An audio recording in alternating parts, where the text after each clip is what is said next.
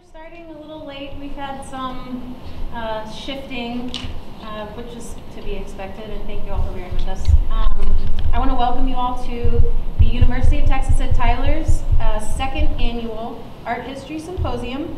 I'm Jo Beth Cox, or Joe. Um, I'm the History of Art Undergraduate Society, or House, uh, the House Secretary. Um, and to make myself a little less nervous, I wanted to open with a joke. There's the joke. Let it marinate.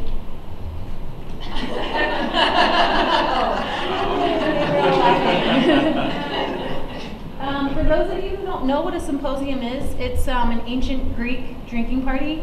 Um, it was BYOB, so I hope you guys hear that. No, it was, um, I mean, it was, but it was also for, you know, the exchange of ideas. And that's what we essentially are going to be doing today. Um, or the part that we're going to recognize today at least. Uh, our symposium is made possible by the Department of Art and Art History here at UT, um, the History of Art Undergraduate Society House, UT Tyler Student Life and Leadership, and also um, the institutions that are sending us their amazing gifted speakers and all of our visiting speakers today.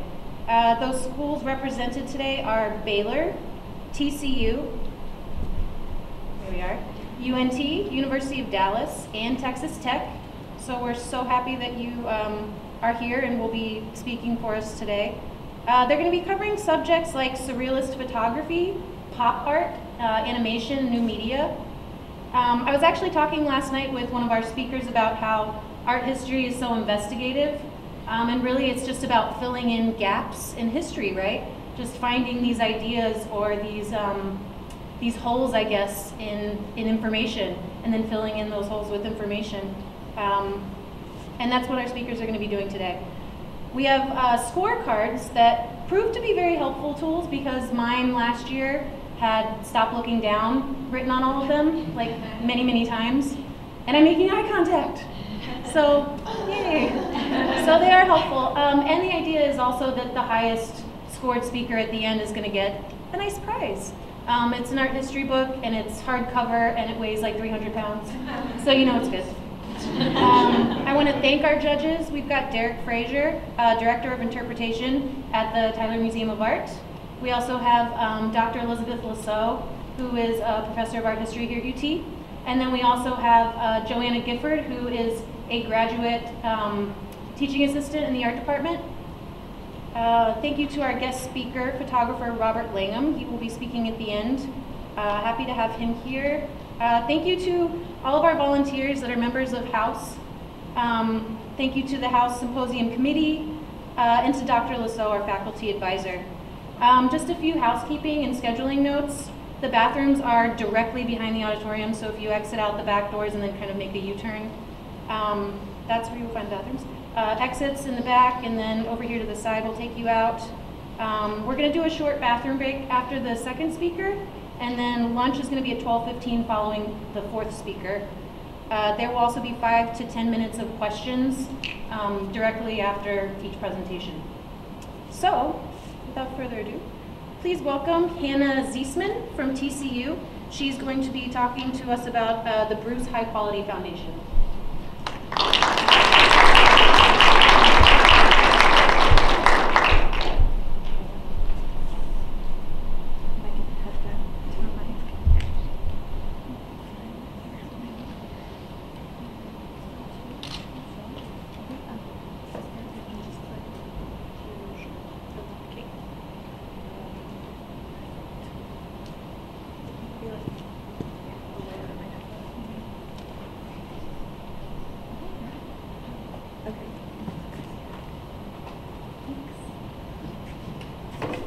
I'm Hannah Ziesmann. Ooh, never been on a mic before.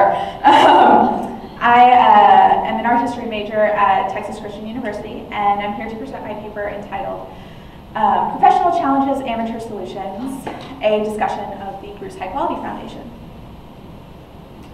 Oh, we're not, we're not. Tech problems. Oh,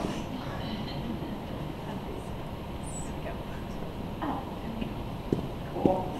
Um, Bruce Quality is, I think, one of the more underrated artists of the 20th century. Um, I had the privilege of visiting his Soho studio, and it was nothing short of an extraordinary experience. Though the late social sculptor has long since passed, his aura still seems to fill the room. His Eames leather couch sits like a shrine in the middle of the space. A ring of liquid stains the top of his Noguchi coffee table, a shadow of Bruce's signature drink, brandy and Benedictine in a water tumbler. It feels as if Bruce should still be sitting on his couch in his vinyl pants, sipping his drink, his head bursting with ideas. Despite Bruce's overwhelming success, his studio is nothing more than a white cube. On one wall hangs a silk screen, printed for and given to him by, pers personally by Andy Warhol. Oddly enough, the only other adornment is a crucifix between the two windows. Not many know that he was devoutly Catholic and attended Mass every Sunday.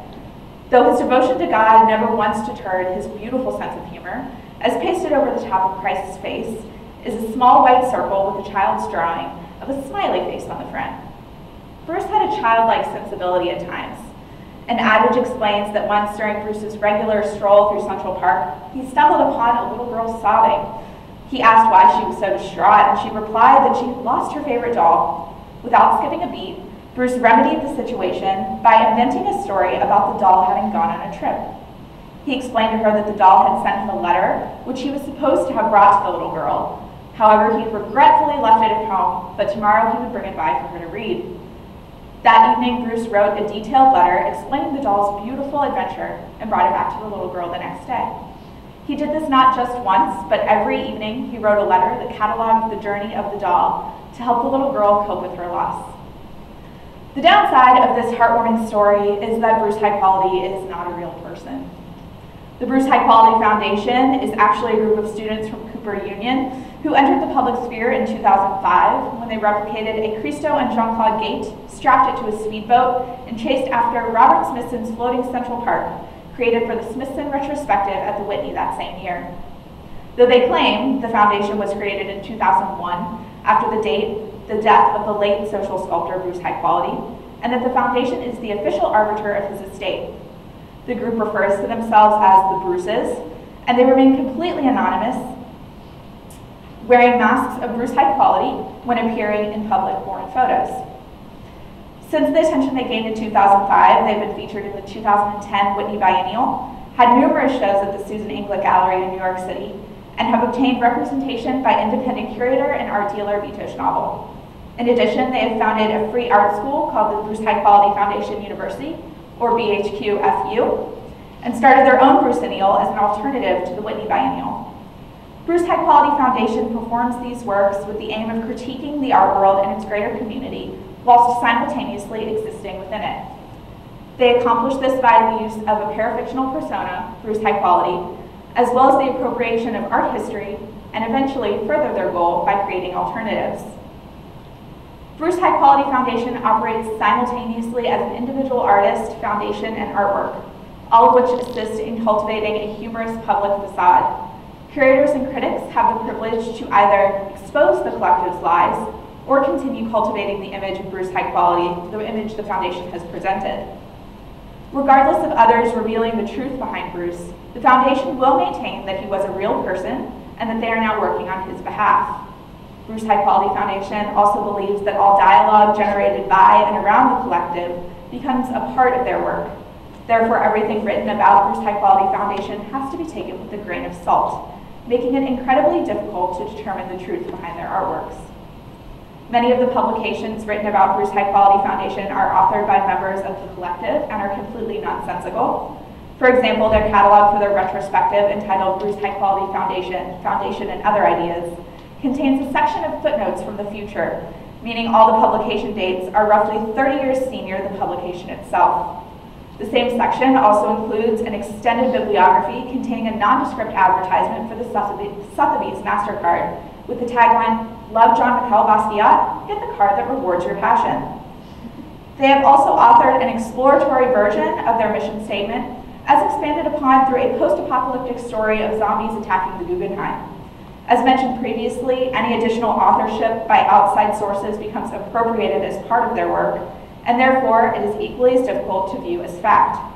For example, the details about Bruce's favorite drink, his vinyl pants, and his stroll through Central Park are all cited pieces of information from sources other than the Foundation, which were public, published as fact by writers outside of the collective.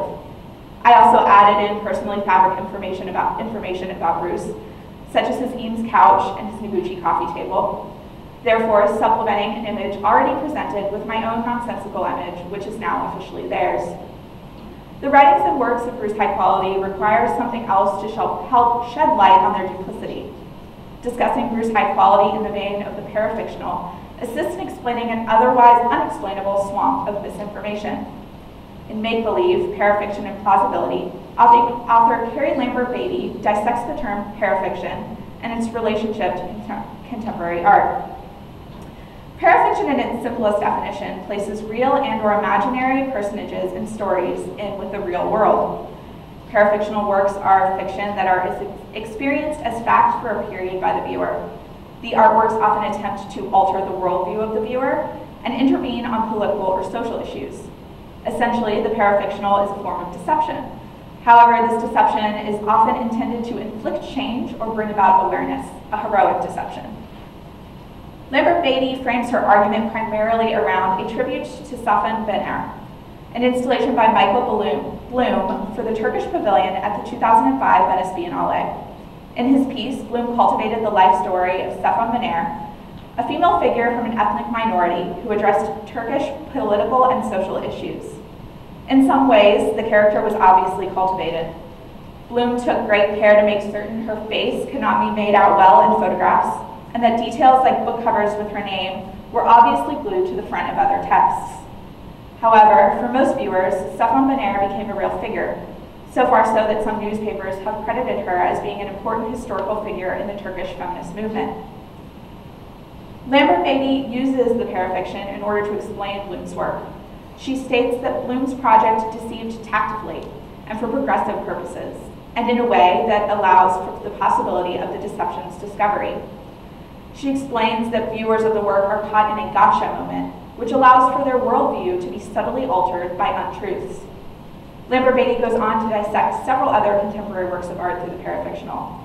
The general theme of each piece ultimately being the altered worldview of the viewer, illuminating a social or political issue for the better. Lambert Beaty uses the analogy of a laboratory where artists wear white coats and viewers run through their mazes. This analogy is very helpful in understanding parafictional works of art. She also points out that often this tactic is humiliating to the viewer, who is essentially demoted to a, to a conditioned lab rat. Humiliating is a fair assumption, as viewers who perhaps, who perhaps ask sincere questions about someone like Safiye Behar or Bruce High Quality are left with seemingly nothing more than a punchline later. Even if there is greater social or political issues presented, the tricking of the viewer is often seen negatively, this is understandable, as the viewer is expecting one kind of experience in, and is instead forced into another. As viewers in these situations, we must dignify our position as lab rats. We do this by asking questions and receiving answers, however true or false they may be. Without this line of questioning, artists such as Blum and Bruce High Quality Foundation are often labeled as pranksters, and the viewer moves on. Articles like Lambert Beaty's offer insight into works of these artists and assist in illuminating their work with a less negative light. Bruce High Quality Foundation requires this scholarship, precedent set by other artists such as Blum, and this line of questioning from the viewer in order to be taken at least somewhat seriously in the art world. Bruce High Quality's artwork does not contain certainties. Instead, it is an experiment, and all statements made by or about the artist should be questioned. Facts are important, but not all the time. Distinguishing fact from fiction becomes more important in Bruce High Quality's works than the facts themselves. Unveiling the work's fiction does not destroy the work, but rather illuminates to the viewer those aspects worth changing within society. All this being said, Bruce High Quality Foundation is still largely, at its most basic level, a prankster put down of the art establishment. Their first piece was, after all, a little saffron gate strapped to a speeding zoom, speeding, speeding speedboat after Robert Smithson's Floating Island. Bruce High Quality Foundation constructed their gate in order to poke fun at the Whitney, where Smithson's retrospective was on display. Their target was Smithson because he is often idolized as the father of earthworks in, in the contemporary art world. A cult was created around Smithson's image, not unlike the fabricated image of Bruce High Quality. And Smithson's was also mostly false, created and elaborated by the press the public. The replica of the little Christo and Jeanne-Claude Gate another artist duo with a cult-like following. Chasing after the fabricated island is a hilarious little prank, but it also illuminates how broken the art world is, full of stories we have created about around these celebrity-like artists. In 2007, Bruce High Quality Foundation stepped further back in time into modern art, recreating Picasso's iconic Les Demoiselles d'Avignon. Picasso's piece depicts five nude female figures posed wearing African masks. Bruce High Quality Foundation renamed their piece The Bachelors Avignon. Their version is a collaged photograph of nude males, some wearing paper mache masks of Bruce High Quality's cartoon-like face, others covered with a strange collage reminiscent of Cubism. Here the collective is both resurrecting its art historical past and destroying it at the same time. As the independent art critic and curator Beatrice Gross states, it is between a reconstructivist archaeology and a deconstructive parody of art history. This duality of death and resurrection is seen throughout their work. Bruce High Quality Foundation is constantly struggling between killing the art world beast as well as surviving within it. In their exhibition catalog, the Bruce High Quality Foundation, Foundation and Other Ideas, which accompanied their retrospective at the Susan Inglett Gallery in 2008, Bruce High Quality Foundation inserted an essay by independent writer Nicholas Weist, which was intended to expand upon their artistic choices in the making of the Bachelors of Avignon. A condensed philosophy of the use of the mask in the Bachelors of Avignon, as it was titled, ultimately points out that the art world is constructed from stories told or fabricated about artists Weist draws a circle through modern art beginning in 1907 with Picasso's Demoiselles d'Avignon. His disjointed paragraphs describe little anecdotes about several well-known modern art artists and art historians. Picasso, a philandering sex addict arrested for the 1911 theft of the Mona Lisa. Barnett Newman, who ran for mayor of New York City on the anarchist ticket and failed horribly in the resounding polls. Clement Greenberg, a notorious drunk who screamed at David Hockney at a party one evening. Weist's cataloging of these stories goes on, ultimately ending by pointing out that in Picasso's Demoiselles d'Avignon, it was written that Picasso depicted the prostitutes with masks because he felt they needed protection from venereal disease running rampant through Paris, and that he drew these masks from the Trocadero. However, Weist states that it was later discovered that the masks were instead influenced by a small selection of Iberian masks sold to Picasso by a grifter who had stolen them from the Louvre. While the art, while the art world figures presented by Weist are talented, he shows that these grand narratives and personas are a large part of why we hold so tightly to the figures themselves. The stories or masks about each artist is ultimately what makes them so interesting to the public. In the same exhibition catalog, Bruce High Quality Foundation first presents their official mission statement in three parts, entitled Short Version, Medium Version, and Long Version, A Day in the Life. The short version is simply, the Bruce High Quality Foundation was created to foster an alternative to everything. The medium version is as follows. The Bruce High Quality Foundation, the official arbiter of the estate of Bruce High Quality, is dedicated to the preservation of the legacy of the late social sculptor, Bruce High Quality. In the spirit and life and work of Bruce High Quality, we aspire to invest the experience of public space with wonder, to resurrect art history from the bowels of despair, and to impregnate the institutions of art with the joys of fans' desirings, professional challenges, amateur solutions. While the medium version could itself be dissected, I believe the final version of the statement, a long version, a day in the life, to be a more appropriate depiction of the collective's persona. The final version is an exploratory version of medium version, where between each clause is an interjection of a post-apocalyptic story of zombies attacking the Guggenheim. Bruce High Quality Foundation begins their saga in the Guggenheim with a ragtag group of art world people, a bunch of art blogger, bloggers wearing Patagonia vests. They're very specific about the type of vest. Guggenheim staff and curators and art critics from the Village Voice who have gone to hide in the cafe by themselves because they think Bruce High Quality sent the zombies to kill them. The foundation must use whatever they can find in the museum to protect themselves and everyone else from the zombies. So they begin to construct zombie traps out of artworks. Francis Bacon paintings are positioned to distract the zombies. and Eva Hesse sculpture is draped as a net over the atrium. Duane Hanson sculptures are used as decoys, and they roll Brancusi heads down the spiral of the museum as a means of knocking over the zombies. When that fails, the zombies are, and the zombies are still attacking. They grab ammunition from the gift shop, mugs, tote bags, overpriced giant art books, slinkies, and head to the vault of the museum where several Richard Prince matte black barracudas are waiting for them. They ram their way out of the museum and escape with a ball of fire shooting out of the skylight behind them. It's hard to know where to go from a story like this. Is it just a funny little interjection? Alternatively, perhaps there's something to be taken from it. What I find so interesting is that the majority of the story is found wedged between two sections of their medium version mission statement to resurrect art history from the bowels of despair and to impregnate the institutions of art.